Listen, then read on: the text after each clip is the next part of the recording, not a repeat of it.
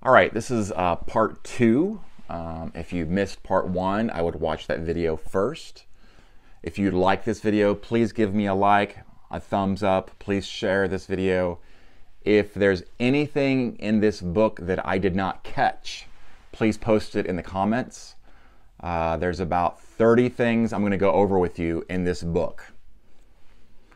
Uh, I, I, don't think I will have caught all of it, but uh, remember, every word in English has double meanings or triple meanings.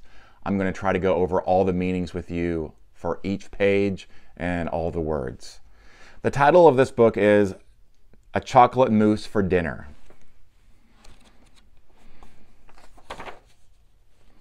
So, a summary of this book is a little girl pictures the things her parents talk about, such as chocolate mousse, a guerrilla war, and shoe trees. Mommy says she had a chocolate mousse for dinner last night. Okay, the word moose is, well, for the animal, you have a moose, M O O S E, but we're also here talking about chocolate mousse, which is M O U S S E. So chocolate mousse. And I believe mousse is a uh, French word, I believe.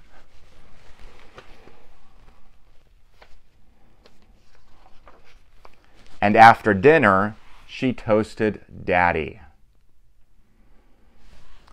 All right, to toast somebody, to toast somebody means they're going to be in big trouble. You could also toast toast or toast bread. Um, after a marriage, there's the, the, the party, and usually somebody will give a toast to the new couple.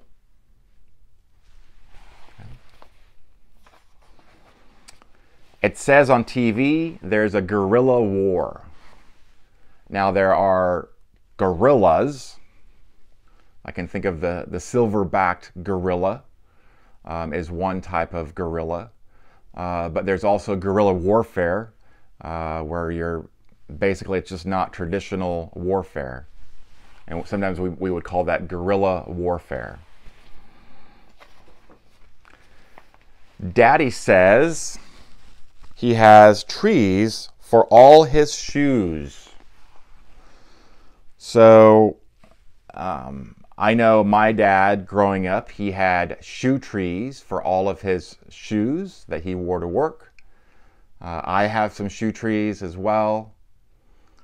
Um, but this is not, you know, the, the little girl's thinking of, you know, a shoe, a, a, a tree that has shoes all over it a shoe tree.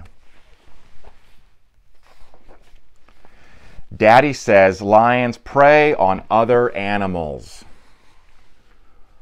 Now, here, uh, the word prey is not spelled correctly, or maybe it is spelled correctly, but if you're preying on something, that's spelled P R E Y. So you could say maybe an owl preys on a mouse. Um, sometimes people prey on other people.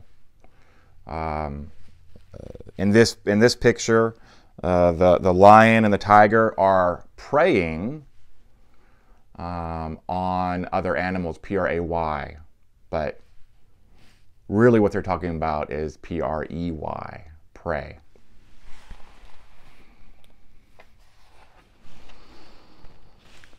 Daddy says he hates the arms race.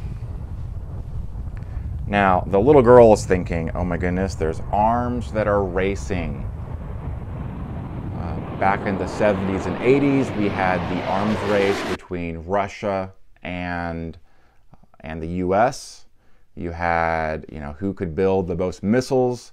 That you had uh, those inter- intercontinental ballistic missiles uh, you had the, the arms race. Okay. Mommy says we need a new wing on the house, but Daddy says he'll have to sleep on it. Now, when we're talking about a new wing on the house, it's going to be a new addition on the house. Um, and then we talk about, we're also talking about, um, you know, uh, sleeping on it. You know, sleeping on it means, you know, you need to think about this. Think about this long and hard. Sleep on it. So a new wing, again, is going to be like a new addition to, uh, it could be a house, it could be uh, maybe for in, any building. Many times they will add onto that building and they'll, they'll call that the new wing. And then sleep on it is just, let's think about this for a while. Daddy says there should be more carpools. All right, a carpool is typically uh, a ride share situation. Uh, you're, you're going with somebody, you're going with a friend to a, maybe a different city for work, and so you're gonna you're gonna be in the same carpool. Mommy says her favorite painter is Dolly. Now this is a Raggedy Ann doll. This is a doll baby, you could say. Uh, there's also uh, the the picture here um, suggests Salvador Dali. You know, that's another suggestion here. Uh, there's also a, a, totally different dolly, uh, one that you move uh, maybe a refrigerator with or furniture with. That's also a dolly, uh, but that's not referenced here in this picture.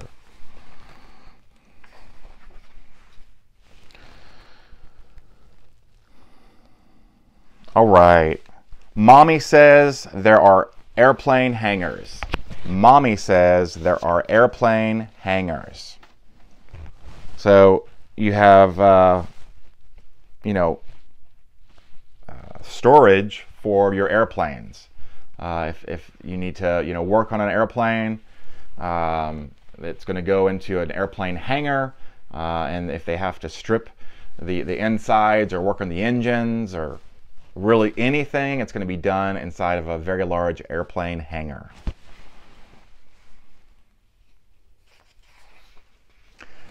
Daddy says he has the best fishing tackle. Now, sometimes for American football, we talk about players tackling other players. For fishing, we have a tackle box that's going to be full of hooks.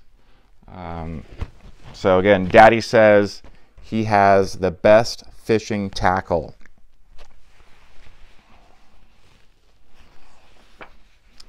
It says on TV, a man held up a bank. It says on TV, a man held up a bank. So in this situation, uh, you could be talking about two or three different things. Holding up a bank is somebody robbing a bank. Uh, we talk about um, people holding up traffic.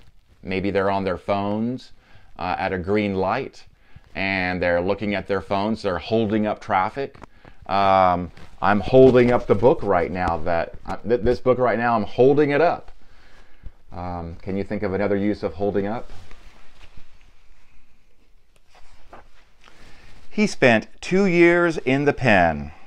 So he held up the bank and then he spent two years in the pen, but they're talking about a penitentiary. Uh, we sometimes refer to a penitentiary or a jail as a pen. Um, so this is a pen, uh, but then they're talking about a, a penitentiary or a pen. Okay. And he has just escaped and is now on the lam. Now this is misspelled. Um, when you're on the run from the law, you are on the lam. Lam is spelled L-A-M. Lamb. So being on the lam, you're in trouble, you should be in jail. You are on the lam.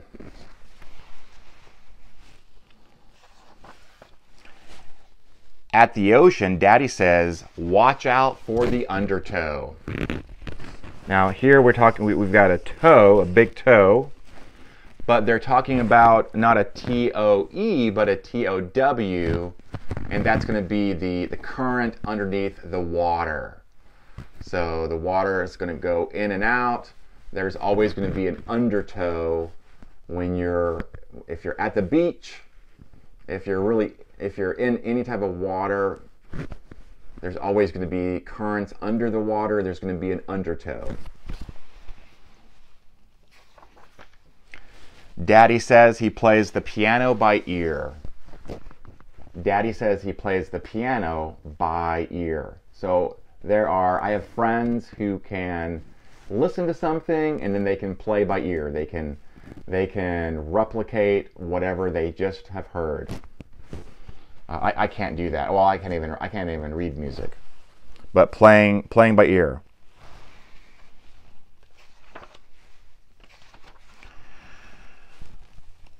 Okay. Mommy says after she and daddy argue, they always kiss and make up.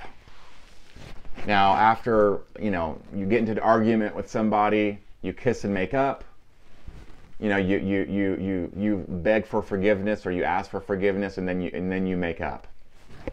You're not putting on makeup. You're not putting on foundation and mascara and eyeliner. That's not, that's a different type of makeup. You know, men or, or women are going to put on makeup um, for various reasons. Um, but, you know, making up and makeup are two different things. Making up is apologizing. Makeup is, you know, putting makeup on your face. Mommy says she's going to tell me about Santa Claus. Santa Claus. Now, in this picture, we've got Santa Claus, and you've got C-L-A-W-S, claws. You also have Santa Claus, which is, again, a different spelling there. And Daddy says he's going to tell me the story of the tortoise and the hare. Daddy says he's going to tell me the story of the tortoise and the hare. So the tortoise and the hare is going to be the, the, the tortoise, and the hare, the hare is going to be a rabbit. Hare, H-A-R-E, I believe it's H-A-R-E. Um, H-A-R-E. Anyway, I'll, I'll, correct this if I do an edit, but, but you, you, you have a different name for a rabbit. It's basically the tortoise and the rabbit. Yeah, that's right. And then the last page here, stories like these drive me up a wall. Stories like these drive me up a wall. That literally doesn't mean someone's going to drive up the wall. That means you're driving me crazy. You're driving me crazy. So I did skip a couple pages. Um, if I missed something in what I read, let me know. Or if you see a different interpretation of something, let me know. Um, what are your two favorite homonyms? What are your two favorite homonyms? So again, if you like this, please give me a like. Uh, click on the bell if you want to see uh, new updates. Typically, I, I post a new update every Friday. And please subscribe, please update, please comment. What is your favorite homonym? Thank you.